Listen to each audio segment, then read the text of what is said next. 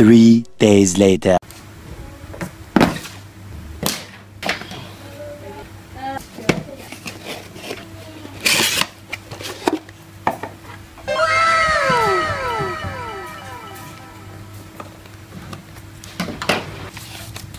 Alright, this is my mouse. Oh my god.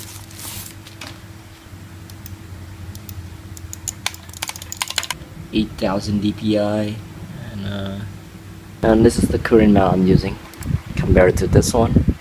Oh. Okay. Um, this is my first time using a uh, gaming mouse, so yeah.